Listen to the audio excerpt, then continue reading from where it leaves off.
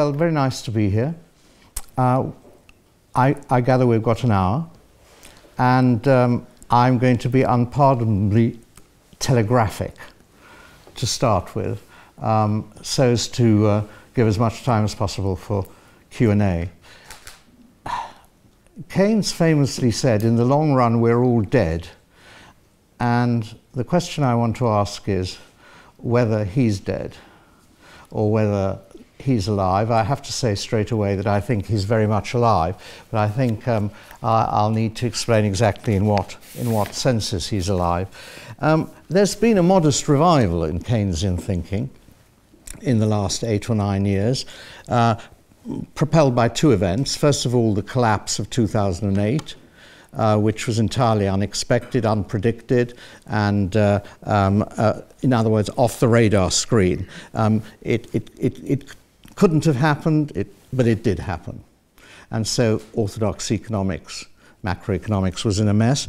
And the second surprise was the um, failure of non or anti Keynesian uh, policies to help um, economies back to normal activity. Um, uh, eight years after the start of the slump, growth is either sluggish uh, and in Europe non existent. Um, real incomes haven't recovered to their 2008 level. And um, specifically, monetarism, Mark II, uh, known as quantitative easing, uh, has uh, uh, failed to lift real activity. What it has done is to lift asset prices, uh, and in other words, making the already rich uh, richer than they had been. Um, so, fiscal policy, which is Keynesian territory, is back in, creeping back into fashion. And two pointers to that are um, uh, Robert uh, Hammond's, Hammond's uh, autumn statement uh, of last week. Um, first of all, he has abandoned Osborne's absurd fiscal target of balancing the budget by the end of this parliament. And he's left, in other words, about 2% of GDP room, uh, wiggle room. And secondly, is put his toe into the uh, infrastructure, in infrastructure investment. Um, although only to the tune of about 23 billion pounds over five years, which isn't very much. And if you look at the situation, Hammond, Trump, Draghi, Juncker are all singing the infrastructure song without, of course, a mention of Keynes. I think politics has had more to do with this turn than economics. Specifically, it's been the rise of populism, uh, which has caused fears of a revival of fascism. Populism is not fascism, but it does have one very important thing in common with fascism, and that's why I think it's uh, the media labeling of populism as right-wing extremism is, is, is wrong. Its economic program, the economic program of all the populists, is actually quite left-wing. And you rem you'll remember that Nazi stood for National Socialist. There was a socialist bit. And the populists repudiate austerity and, and promise, among other things, big infrastructure investment programs. Uh, and Trump has vowed to maintain existing welfare entitlements. So, unless Francois Fillon, who is, who is a respectable right winger, uh, moves to the left in France, it's quite possible that, uh, uh, that Marie, Marine, Marie Le Pen will become French president in May. It's not, not at all unlikely. Um, of course, moving to the left doesn't mean renouncing every single liberal value, and in fact, that shouldn't be the case, as Trump did in his presidential campaign, but it does mean in importing an element of nationalism into a program, and that is going to be the, the populist mix as, we, as we've already seen it, and, and, it'll become more obvious. We need to recognize that there's an inchoate popular revolt going on, of which Brexit is our nearest example, against globalization. Um, and um, uh, its associated neoliberal politics and economics. So that's roughly, I think, the political setting of this revival of Keynesianism. But to turn from politics to economics, There are two kinds of Keynesians. Um, they're what I call policy Keynesians, and those mainly interested in Keynes's ideas and in his method of doing economics. And of course, the two overlap, but their priorities are different. From my limited knowledge of how economics is taught at Oxford, how many people actually are doing economics? Quite a few. um, I would call Oxford the home of that branch of policy Keynesianism known as New Keynesianism. Um, and what's, what's the credo of New Keynesianism? Well, New Keynesians reject the idea that e- economies are self balancing, automatically self balancing at full employment aggregate demand can be deficient. New Keynesians have been strong critics of Osborneism, of fiscal austerity, the belief that cutting the deficit in a recession is the royal road to recovery um, by releasing resources for private spending. Uh, they say, on the contrary, that um, it, it tends to make recession worse rather than better. New Keynesians accept the theory of rational expectations working within the boundaries set by the new classical school, especially micro-founded. Sorry, I'm going to use a few bit of economic lingo, um, including micro-founded optimization. They tinker with the, the new classical models to, in order to justify stimulus policies in a slump. They sort of stretch the boundaries in order to create a policy space uh, for, for, for themselves or for stimulus, but they explain unemployment or persisting unemployment by sticky, sticky wages and prices. Um, and that prevents you know, instant adjustment back to full employment. So that's the line they take. Uh, instead, the economy adjusts through income changes, which lead to a position of underemployment equilibrium. now, but according to the new Keynesians, this is a short run problem. Ultimately, the economy is self correcting, but in the short run, there is policy space for a government to do some stimulus to exploit, again, another term of art, short run Phillips curve to improve on the inferior equilibrium. Now, of course, Simon Wren Lewis is one of the leading new Keynesians in Oxford. I don't know whether any of you go to his lectures or whether any of you have him. Um, and he has calculated that Osborne's austerity policy has cost the United Kingdom 5% of lost growth in the last six years. That's about £1,500 per family, per household. Many new Keynesians are left wing in the sense that they believe in strong regulation of the financial system and also care a lot about income inequality their Keynesianism is one element in a broader outlook, though it adds support to the, the policies they, they believe in um, um, uh, politically. To sum up, New Keynesians, New Keynesians abandon the main theoretical and methodological insights of Keynes in order to win policy space for Keynesian policy within a rational expectations framework. So that's New Keynesians. Then there are the theory Keynesians. I call them the theory Keynesians. They're often called post Keynesians, and they see Keynes's main contribution as the concept of radical uncertainty. Uh, and this arises from our inability to predict a future which is shaped by complex, um, un, un, unknowable human interactions. The future isn't given as it is in physics.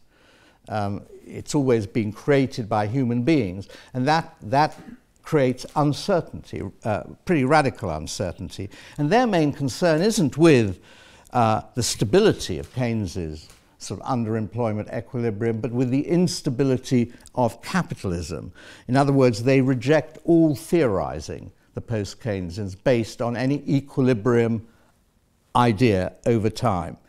They have used Hyman Minsky's um, financial instability hypothesis to explain how the banking system was so fragile in the run up to the slump, um, as against the orthodox uh, hypothesis that all financial markets are perfectly efficient. Um, uncertain, un, uh, um, uncertain expectations is what makes investment so um, unstable. Our best bets can be upset by too many things, and it's anxiety about the future, not sticky wages and prices, which explain um, why you have lots of uh, unemployment as a normal condition. Only a theory based on uncertain expectations, say the post Keynesians, can really be regarded as a general theory. Um, and Keynes's book was called The General Theory of Employment.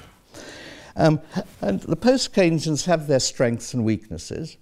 Um, they have a lot more to say about the origins of the crisis than they do about what you should do once um, the crisis has happened.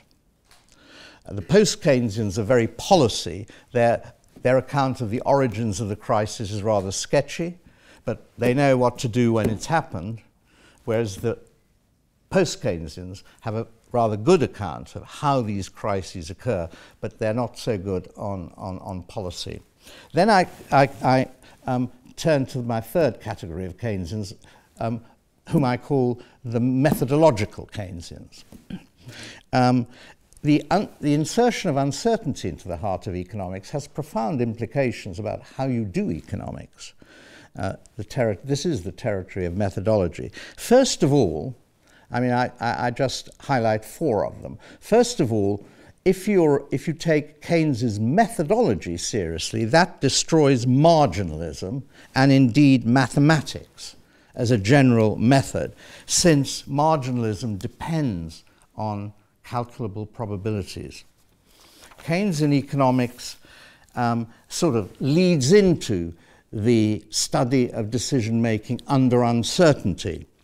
It opens the door, for example, to behavioral economics, which is, which is a, a, an offshoot of psych, psychological um, uh, accounts of human behavior. So it, it, opens that particular door. Secondly, it destroys Lionel Robbins's, this is this is, if you take Keynes' methodology seriously, destroys Lionel Robbins's definition of economics as the science of scarcity since it strongly suggests that an unmanaged market economy is dominated by excess supply. It's not an economy of scarcity. There's a lot of unused resources normally, or as economists here, students will, will gather, it means that Say's law doesn't hold as a general rule. Third, it denies that macroeconomic outcomes can be understood as a result of micro, um, micro foundational um, sort of decision making. Macroeconomics, which is the study of the whole, how the whole economy works, is just macroeconomics and nothing else. It makes no strong assumptions about individual human behavior.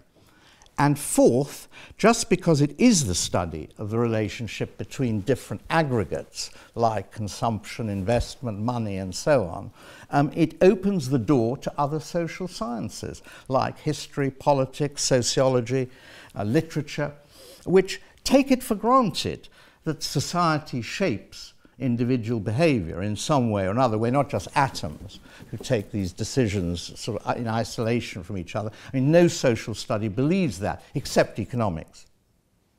So it opens the door, um, if you take Keynes's methodology seriously, it opens the door to these other um, disciplines and uh, emphasizes that the re- relationship between individuals and their society is a recursive one.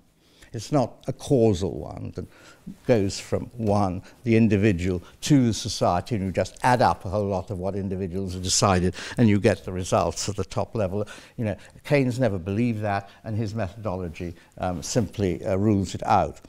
An obvious example of, of, of the weakness of orthodox economics and the strength of a more recursive view of, of, um, uh, of, of, the relationship between individuals and societies is, is, is, is in consumer, consumer preferences. I mean, orthodox economics lauds consumer sovereignty without inquiring into how these preferences are shaped by advertising, manipulation, and, and you know, the general order of, uh, of society. So, um, I come to my last point. Keynes uh, remains essential in one other way. John Stuart Mill said, a good economist must be more than an economist. And Keynes lives up to that pretty, pretty accurately. Uh, he was much more than an economist, and he brought the benefits of a wide education to bear on the economic problem. He never stopped asking, what's economics for? If economic growth is a means to an end, what is that end? What is it a means to?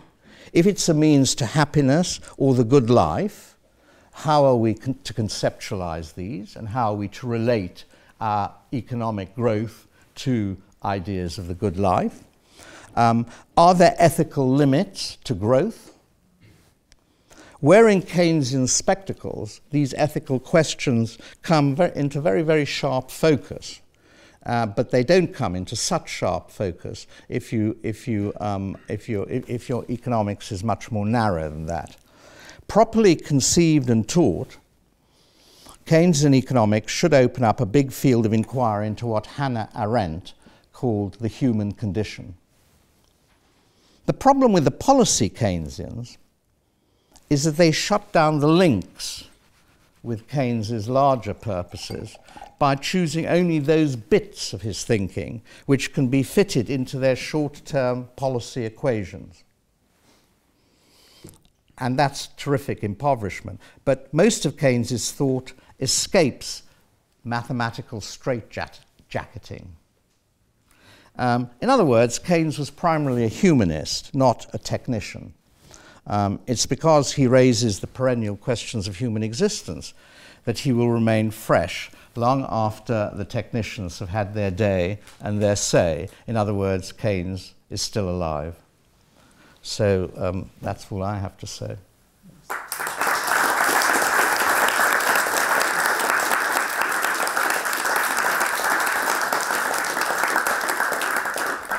So you've skirted around a number of important issues, uh, including populism and, and, mentioning Donald Trump. And you recently argued that Trumpism could be a solution to neoliberalism.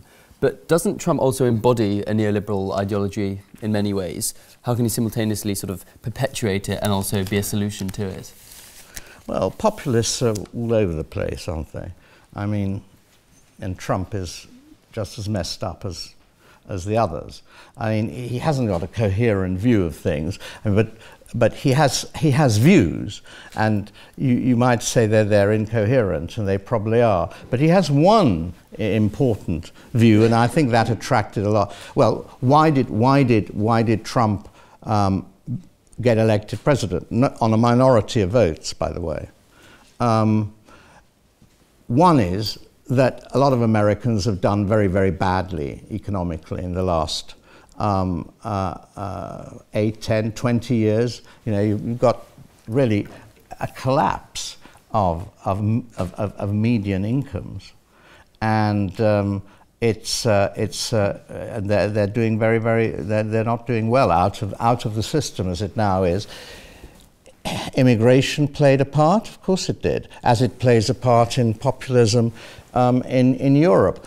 And when jobs are very insecure, um, when you, your, your future is, is, is you know, not, not, not looking bright, of course, popular opinion turns against immigrants. And so that, that, is, that is one of the responses. There's a, there's a big business side. I mean, Trump is someone who comes out of business, so of course he favors reduced taxation, and especially getting corporate, corporate taxation down, which is exactly what um, the corporation tax down, which is exactly what Hammond did. Um, but that's also a stimulative measure um, in, in, uh, in, in, Keynesian terms. That, that is one way you can encourage uh, investment. But, but at the centerpiece of, of his policy, I think there is a very, very large infrastructure program. I mean, a trillion dollar infrastructure program. Um, and that's much bigger proportionally than, than Hammond's timid efforts or uh, pledges. So I think the idea of getting America moving um, is, is, is, it was, was, was a powerful message. there's also been in American politics, more I think than in post war European politics, a strong, a strong vein of populism it's always been there and it, it, comes up throughout history. I mean, in, in, in the end of the 19th century, the, the populists and the progressives, in, even in Roosevelt's era, Huey Long, I mean, in the post war period, people like um, uh, uh, Governor Wallace of Alabama, these people have come and, and, and they've come, but they've never won. So there's, there's, um, there has been a change. There has been a change of mood, it, a real you might call it peasants' revolt if you want to use a very old historical term, against the elites. Yeah, and in, in the article you wrote about uh, Trump being a solution to neoliberalism, or Trumpism rather, you said liberals should not turn away in disgust and, and despair, but rather engage with Trumpism's positive potential. Well, yeah. Um, which, which is a very interesting stand to take because a lot of people on the left are saying, oh, we should do everything we can to avoid normalising Trump. Um, do you think in any way that critique is at odds with what you put on the table, or do you think that critique is actually invalid? Well, it, it is at odds. I mean, I, I think he's going to be president. I mean, unless you know something happens, um, like a violent death or something. I mean, he's going to be president for at least four years. He's going to be president of the most powerful country in the world. Well, you want something sane to come out of it. Um, and therefore, people who have sane ideas which are compatible with some of Trump's ideas ought to work with him. I mean, in fact, the, the defeated uh, uh, left wing Democratic candidate, what was his name? Um, Bernie Sanders. Bernie Sanders said exactly the same thing. Um, he said, yeah, you've got to just take the good bits of Trump's program and, make, and engage with them and, and, and, and try and make them work. And, um, well, you, you hold your nose up. You know, you, you, try and avoid some of the bad smells because you can't influence those, but you try and do you try and do what's um, you make the best of his presidency, and he'll need he'll need help. He, I mean, he's he's got no experience of government. Um, I don't know. I mean, people say things about him which suggest he's completely incapable of running, running a government. But I mean, we're going to find out about that. And of course, there's one very important difference from fascism, which I think one's got to, one's got to understand, and, and that's why this isn't the centre totally disintegrating. Um, there was very little constitutional um, um, uh, obstacles in Weimar Germany um, to Hitler's assumption of supreme power. I mean, the Constitution really facilitated it rather than, um, rather than prevented it because it had a sort of all powerful president um, at its head. And once Hitler could just get to that because the old incumbent died, there was nothing there to stop him doing whatever he wanted. Whereas the American Constitution is a checks and balances constitution. One's always got to remember that. Um, now, in Europe, um, you again have these checks. I mean, in Germany, I mean, they deliberately created systems of government after the war to prevent one person doing exactly what they wanted. And you have a small illustration of that in the, in the Supreme Court decision in this country to go against Theresa May's idea to use the royal prerogative to um, uh, uh, carry um, Article 50. They said it must be done by Parliament. So you've got these checks and balances, in, in, in, and, and, and, and that's also what makes this a different period, I think, from the interwar years. We've learned something, but what we haven't learned is that you've got to have full employment, security, and, and some secure basis of life if you're going to if you if you want to prevent these outbreaks from happening again. Yeah. Let's bring it to the UK quickly. And in another recent interview, you said there must be some principled politicians left, but you don't hear from them because they almost never rise to the top. Is Jeremy Corbyn the exception to this rule? In other words, is he the principled politician that has rise to the top? There's something quite authentic about Jeremy Corbyn, which is, I think, I don't think he's you know, really top caliber, but there's something, people feel there's something authentic about him. That you know he believes in what he says, that he takes principled stands, and and and and, and it's quite surprising that he ever got to the top, really, when you think of it. It's also very odd. He was, for 30 years, a completely undistinguished backbencher. He was a bit of a rebel, but he was never appointed to any office, which would be classic kind of co option tactic. Um, uh, but, but somehow he didn't, either they didn't think he was good, good, enough or they thought he was too unreliable or whatever it was. But he never got into office. And um, he, he, he simply was um, an outcome of the terrible demoralization of the Labour Party after, after the, the, the, the loss of 2010. And what would have to be considered the weak leadership of Ed Miliband and the, the, the failure of the Labour Party under Miliband and under um, lately come dancing Ed Balls um, to um, develop a counter narrative.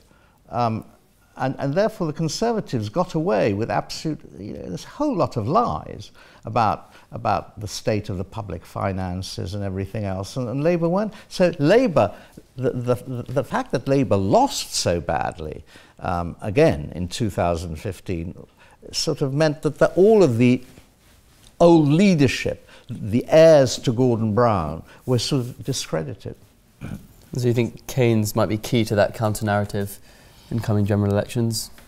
Yeah, I think I think I think there was a counter narrative, and I think um, uh, it should have been put forward at, at the front of politics. I mean, a few of us tried to put it forward and argue and argue and argue, but we weren't, you know, well, we weren't in, in political leadership positions. I mean, Simon Wren Lewis has argued this, I mean, compellingly um, here.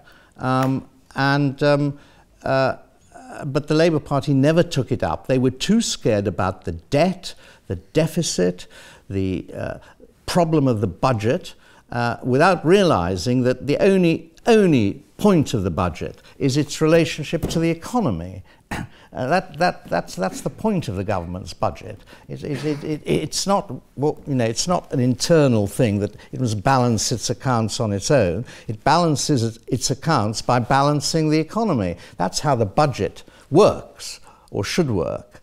And that was some, but I don't think people understood that. I mean, I, I, I, I'm, I'm always puzzled by this, that it, it seemed to be more compelling to say we must live within our means, that we have left our country, future generations, unbelievable quantities of debt unless we do something about it. Um, that, um, uh, you know, uh, it seemed to me people responded more to that than to a simple idea that, you know, if no one's spending money, you're not going to get any employment, uh, which I thought would have thought was also quite a simple idea. But yeah. So last question from me before we go over to the floor. Um, you were one of the founding members of the Social Democrat, Democratic Party in 1981 and stayed on until 1992, until its dissolution. Given the sort of sorry state of the Labour Party, do you think it's possibly time for another Liberal splinter party? Well, the Liberals didn't do very well in the last election, did they? Uh, there isn't. There isn't. I don't think there's space for another. I mean, the only, the only space for another party there was was for UKIP. And that was the most successful third party in terms of popular votes. Um, maybe the Liberal Democrats did do better at, at various times. But of course, uh, UKIP, um, uh, in, a, in, a, continental system, uh, you know, anything like proportional representation or anything like that, um, even under the alternative vote, um, they would have had 30 or 40 seats in Parliament instead of one. Um, and so I, I, there may be space for another party at some point, but at the moment, I mean, what, what would be the possibilities? There would be that you could imagine a sort of Remain party um, uh, forming, um, but A, um, the horse has left the stable, um, and B, I don't think it would be very popular. I don't think any party that aimed in any way to reverse the results of the referendum would get many votes. So the answer is no. All right, thanks. Uh, if you have a question, please put your hand up high and wait until the microphone gets to you. Uh, let's go to the gentleman there. Hi. Um, what do you think were some of the main things that Keynes actually got wrong um, the main things that Keynes got wrong. I thought, I think I think he didn't um, pay enough attention to the issue of maybe confidence. I think if you're in a globalized, I mean, you see, he, his world was very much, I mean, his model, if you like, was a closed economy model, and it once you're in a globalized, in a global economy, um, the the um, the demand for belief in, in, in his remedies is much harder. I mean, it's much more severe because, I mean, you have these markets and they have to make money, you know, and they bet um, on, on, on, on um, what governments are doing the whole time in a way, you know, by the, by the second almost. So it's very, very hard to put, push a Keynesian policy if the markets are very much against it. Now, I think that is a fault of Keynesians, Keynesians, and I think it's a fault of policy Keynesians as well. I mean, Krugman calls it the confidence fairy, is one of his phrases. He says government should disregard the confidence fairy. I mean, it's just all the people who sort of um, say you mustn't do uh, sensible things because the markets won't stand for it. He's also coined uh, this phrase about um, uh, bond bond vigilantes who sort of you know, stop governments doing sensible things because they don't believe in them. It's a very, it's a very interesting question. So I think confidence is, is, is, is, is one issue. I think um, I'm not sure Keynes didn't get it wrong, got this wrong, but longer term issues weren't on, on his horizon so much. I mean, he was really that's why the policy Keynesians came to the fore. He was really interested in this very, very um, this instability um, of, of short-term instability of economies. And the policy Keynesians said, well, we've got a cure for that. But when it comes to growth, there wasn't, there, you know, there, it, it, it didn't really, um, eh, Keynesians, Keynesianism had to be made up to deal with that. And of course, the, the problems of environmental sustainability were way beyond um, anything Keynes was uh, concerned with. On the other hand, Keynes did say things which were ignored um, and which are very, very valuable. I mean, he, he, he had one strand of long term thinking, which I think is very important, which is what's economics for? Um, he asked that question. You don't have to, you know, have to agree with his answers, but there's a marvelous essay called "Economic Possibilities for Our Grandchildren." That's about your age now, um, you know, which which tries to address that and says growth has to stop at some point. You can't just go on consuming more and more stuff. I mean, what, what's it for? Um, what else? He was um, a bit elitist. Um, he um, he thought that um, the experts should really run things, I think. Um, and he might not think so, so much today. On the other hand, he was a great supporter of Roosevelt. And Roosevelt was, was a good populist, you might say. He's the, he was a good populist. He had, he had, he had decent, decent ideas, uh, decent instincts, and, and quite left wing policies. I haven't, I could, go, I could go on a bit more. I don't want to say that he Keynes got too much wrong. Uh, let's go the glasses. Yeah. Thank you very much. Um, so I'm not, uh, you know, familiar with economics. I'm just, I'm generally interested in the economics of inequalities, and I've read uh, Thomas Piketty's book, and I was wondering which school of Keynes. I was trying to kind of fit Piketty into your two models is he a policy economist in the sense that he is indeed very interested in you know policy and what can be done in, in order to reduce inequalities, but he's also very much against neoclassical economics in the sense that he's against the mathematization of economics. He's against the marginal the, the marginalism of economics. He, he doesn't believe in the idea of equilibria. You know, the um, the economy is uh, the transition from one equi equilibrium to another. So where would you fit Piketty in in, in your model? Piketty? Yeah. Well, I mean, I think Keynes wasn't. He didn't regard income inequality as the most important issue. He regarded deficient demand as the most important issue in his time. But at the, at the, um, at the end of uh, the general theory, in the last chapter, he said, uh, the two most important problems facing modern capitalism are um, its inability to provide full employment and its inequitable distribution of incomes.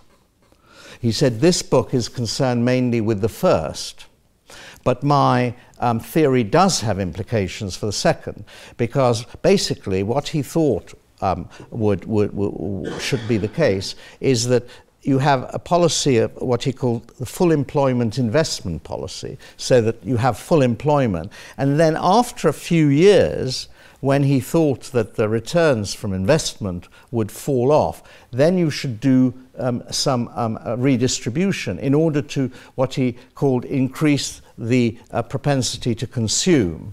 Because, of course, the rich save much more than the poor, so that I mean, you don't want to have a lot of saving going on when the investment opportunities are falling off, so you re- redistribute income in order to increase consumption. And that ties in with a sort of kind of under consumptionist economics which has been revived recently. I mean, a lot of people are now saying is that one reason why we have this very, very unbalanced economy with a lot of money sort of concentrating in, in, in in the hands of the very wealthy, which means the uh, tend, and, and, real incomes falling, um, median real incomes falling, the propensity to consume is quite low. And that's why it's, it's a sort of, you know, you haven't got sufficient consumption base to keep, to keep us going forward steadily. So he, he, he, he, his, his economics does link up with that. And I think people who are under consumptionist would also be Keynesians. Um, but it's, a, it's, it's, it's, Keynes always thought of that happening rather later on. And he said the most important thing is to carry consumption, uh, investment to its ultimate point when, when you know, it, it, it, it does. It, the world is full of capital goods and there's no further real returns um, um, uh, uh, to investment to justify further investment. That's when he thought you should start. And he, the other thing he said at that point, which I think links up so much with um, what people are talking about today, which is the threat of automation and what's going to happen to jobs.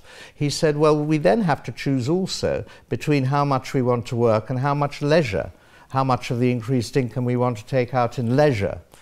Um, and so he, he really believed that um, um, people would work less. Um, they wouldn't have to work as much uh, and would be rich enough um, to um, allow people to work a lot less. He thought that would happen as well. There's not much sign of it at the moment, but that's obviously something that is very much discussed in plans for basic income and giving people basic incomes as, as the machines take over more and more human labor. You know, people can work less, but they've got to have replace, income replacements.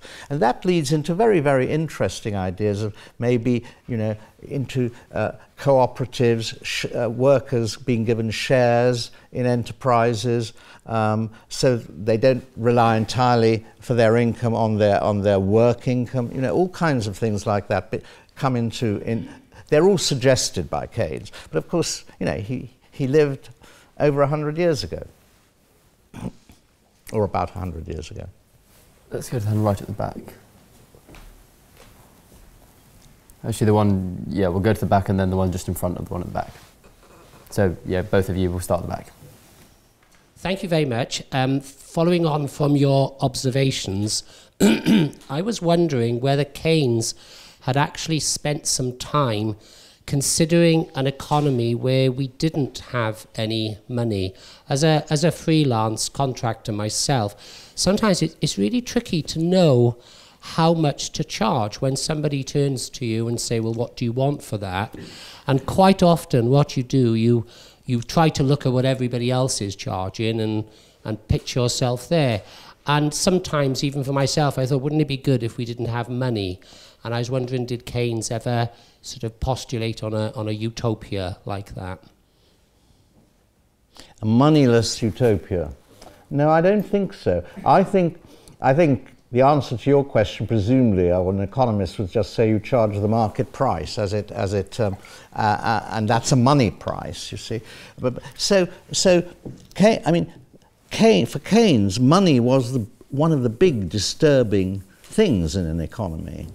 Um, but he didn't think you could solve it by abolishing money because basically then life would shrink. I mean, the economy would shrink to, to barter and you can't do much with barter. I mean, you can do something with barter, but you can't run a, a, a you know, a, a, modern economic system on barter. What you can run are very local systems, and there have been. I mean, there are local systems which really dispense with money. Um, certainly dispense with the money printed by the Bank of England, and they, you know, they, uh, and, and those things can run, but, but I don't think um, you, you, you can. Um, you can um, you know, do much, much other than local with them.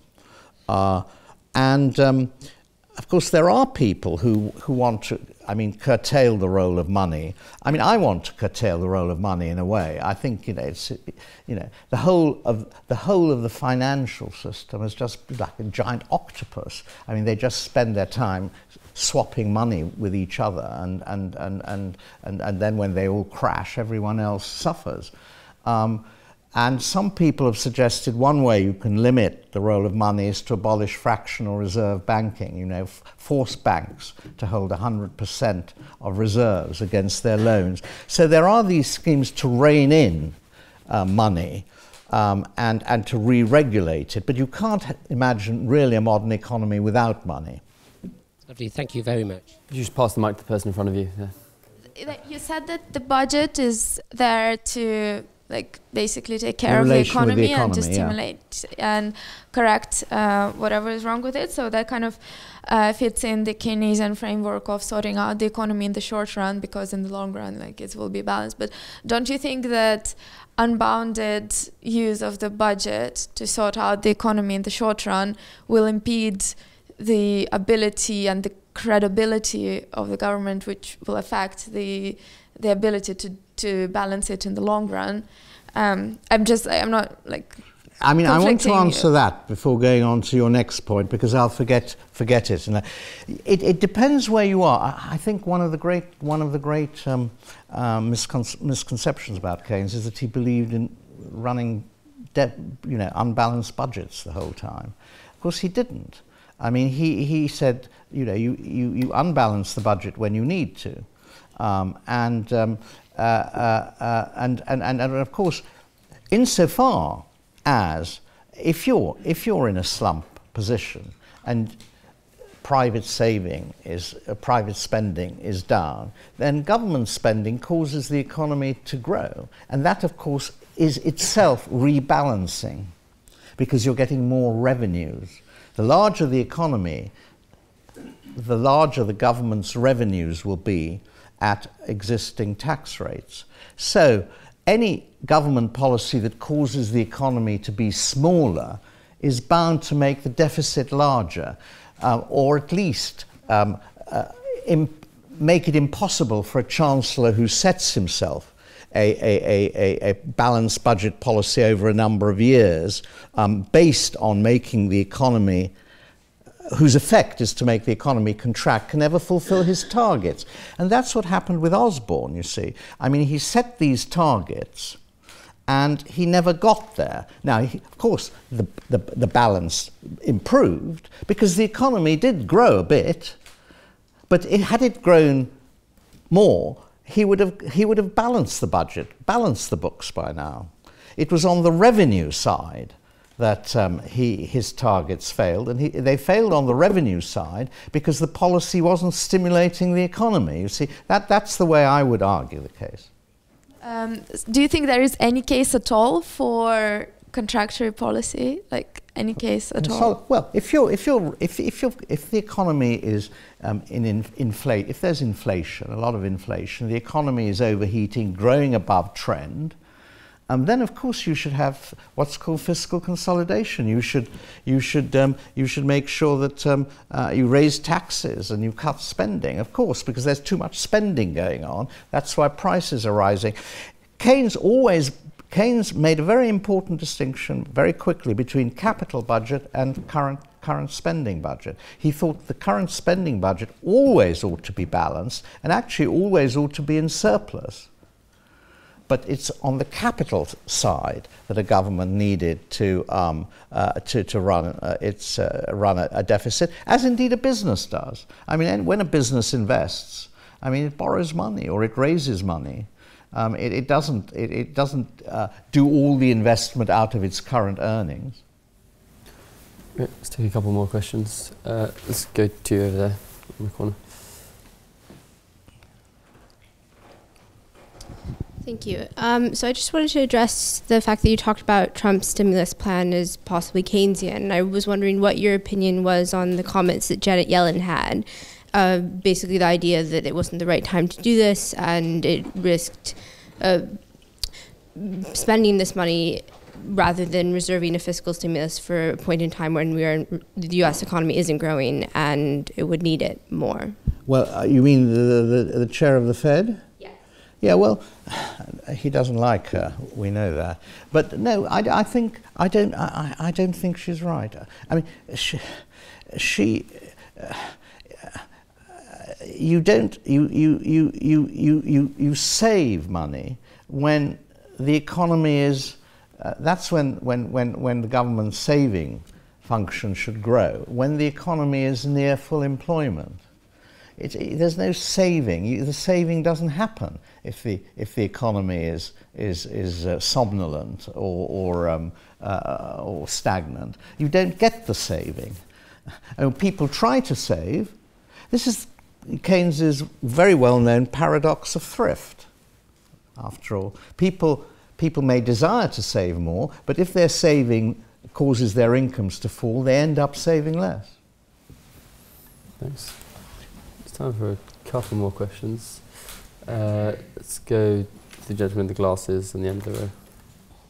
Um, just a quick question about sort of the confidence fairy. What should, in your view, policymakers do if if the markets panic and decide that government spending is too high and demand retrenchment, but yet in order to stimulate, in order to prevent further contraction, the longer term economic policy would require an increase in government spending? They print money. That's simple.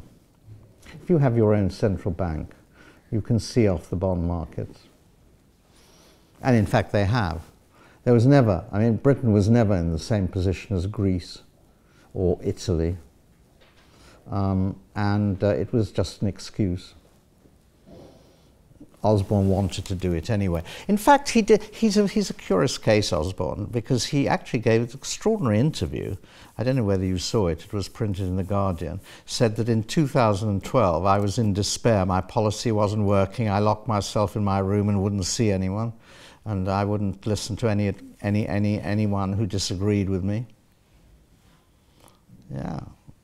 I mean, he knew it. He knew that it, it wasn't working. Let's go to the sort of pink, purple shirt. Let's wait for the microphone. Hi, um, I was two purple shirts.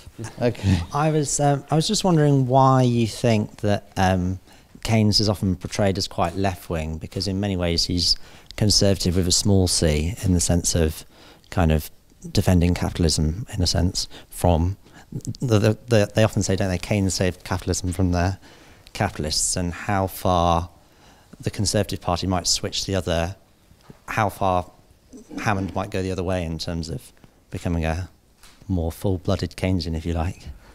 Well, you know, they're, they're, they're, um, he, he, he, he doesn't think the Soviet Union works. I mean, that was the alternative model at the time. Um, uh, and, and so he, he thought you could have a social capitalism, which is, after all, I mean, in a way, you could say he was a social democrat. Um, uh, and um, uh, but he was always a liberal in politics. I mean, Liberal Party supporter. He was never a Labour Party supporter, nor a Conservative Party supporter. Um, uh, he, but he did make some pretty radical remarks. For example, he said um, he looked forward um, uh, to the social, socialization of investment. Well, socialization, nationalization, they're very, very similar. He looked forward to the euthanasia of the rentier, um, uh, people earning unearned income. Uh, and those are quite radical ideas. Um, but he was also interested in getting things done. And he, he, he, he presented ideas that could be taken up even by a conservative government. Um, so he was a middle way person. I mean, he, he wrote, I mean, he wrote a, something on the middle way. And I think of him as a middle way person. He wanted, he wanted um, effective policy to make sure that economies actually grew strongly and that everyone had a job. And then he said, Look, I've left other ideas here. When you're in this position, now let's think about the future a bit more. I mean, that tended to be his view. We've got time for one final question. Uh, let's go to the woman with the blonde hair. Um, in terms of the 2008 financial collapse, specifically in the United States, um, you did mention that it was largely unprecedented and that it wasn't something that anyone really predicted when, in fact, there, according to my perception and reading, there were, now that we see warning signs that did lead to that collapse. What would you say um, sort of led to that almost systemic blind eye? to the warning signs that were there in the economy in the United States during that time? Yeah, the theory, the theory of efficient markets, that financial markets uh, um, accurately uh, could accurately calculate risks, and therefore they were doing so, and um, they ignored the fact, you know, that house prices were rising uh, and rising and rising, and that all the securitization, um, all, all, all, the assets being created, liquid assets, were based on rising house prices, and all the banks held them. And therefore, any, any interruption in that rise would actually leave them with masses of non-performing loans, um, the, all the financial system. And, and why were they blind to it? well, why are, why are people blind to things? You know, uh, why, why, I mean, it, it's, it's, it's, a, it's a very profound question, but we, we, we inhabit mindsets of one kind or another, which blinds us to the possibility of things happening. Um, uh, because they're, they're out, outside the realm of the possible. Why um, did no one anticipate Brexit? except in this country, or when, I say no one anticipated, well, even the Brexiters didn't think they were going to win. Why didn't Trump even think he was going to win? We know that from, from um, uh, and certainly it was a big surprise. So why, why do we exclude certain possibilities from our ways of thought? Partly because what we've been taught, what we are being taught, what we read in the newspapers, where we get our ideas from about the normal state of the world that can't be overturned. Um, I think that's really how it happens. There were particular technical reasons in financial economics uh, why they didn't anticipate the crash. And in fact, after the crash, Alan Greenspan, who was um, chair, chair of the Fed for years while all this irrational exuberance was going on, as he called it, he said, My whole intellectual structure has disintegrated. Um, what I never anticipated was his phrase, the underpricing of risk worldwide. Well, if he, did, if he couldn't anticipate it, you know, something is wrong with his intellectual structure, isn't it? On that note, I'm afraid that's all we've got time for. Please remain seated while, whilst our speaker leaves, but first join me in thanking Lord Skidelsky.